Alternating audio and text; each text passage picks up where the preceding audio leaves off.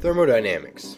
It comes in many forms here at NC State, but chemical engineering students know it best as ChemE 315.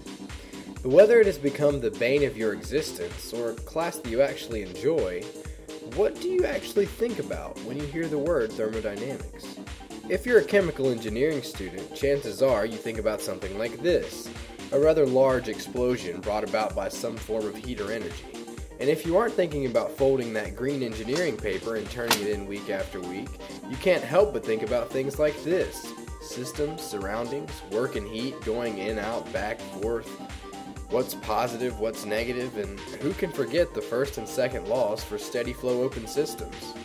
Of course, we probably only think about these things because we are Chem students, so certainly there must be other things that come to people's minds when thermodynamics is mentioned. So what do students think about when they hear the word thermodynamics? I decided to find out.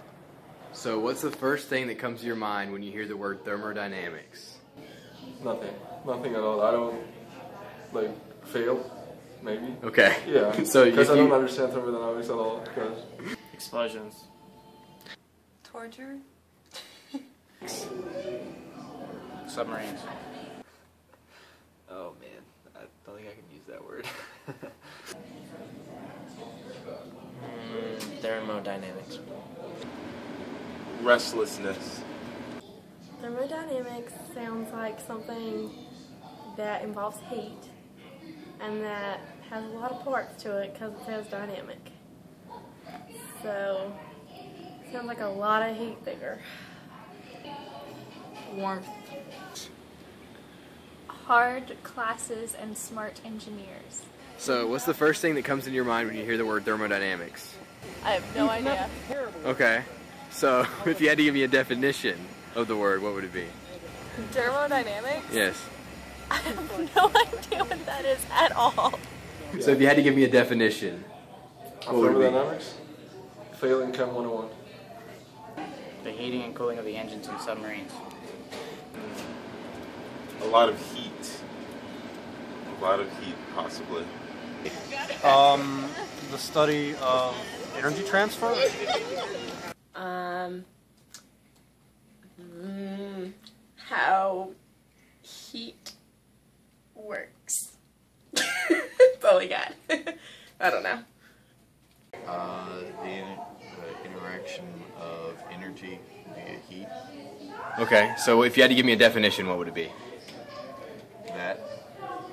That Um, it was probably, I would say that it has to do with heat exchange. But Dynamic, hot stuff. So we've seen how other students perceive thermodynamics, but what happens when you ask chemical engineering students those same questions? So what's the first thing that comes to mind when you hear the word thermodynamics? Pain. um, confusion. Okay. Uh, and, and long nights mainly is, you know, the long nights you spend doing homework. When I think about thermodynamics, I'm not really sure, you know, what I could have did with those hours. Probably sleep. Hmm, heat transfer. He doesn't think. the problem is, I don't want to say sleeping in class. Dr. Hall. Not good things. Empathy? Oh geez, when I think of thermodynamics, I think of uh, all mass and heat flow balance equations. What else? Oh man, all the different uh, Carnot cycles and throttling processes. And if you had to give me a definition of the word, what would it be? A definition of thermodynamics? Yes. Uh, probably how heat affects molecules and systems. Um, lots of time on homework, and really low grades. Uh, the way that heat flows through objects. That sounds really basic, but I guess that's my definition of thermodynamics. So no definition can be complete without consulting the experts. So let's find out what some of the chemical engineering professors had to say. If you had to give me a definition of thermodynamics, what would it be?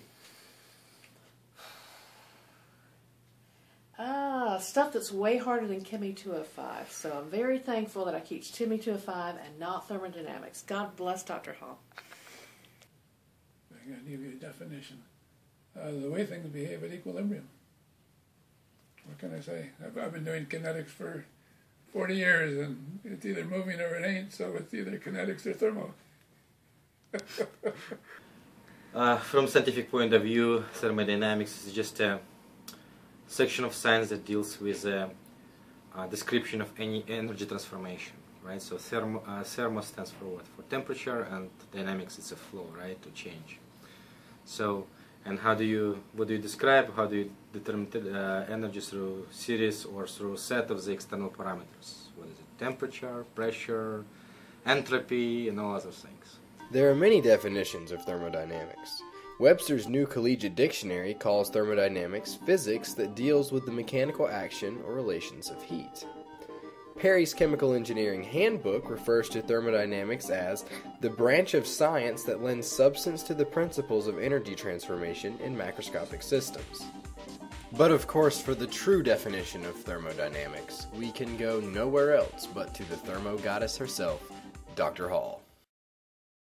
All right, so what is the first thing that comes to your mind when you hear the word thermodynamics? I think beauty. It's a beautiful subject. I love it.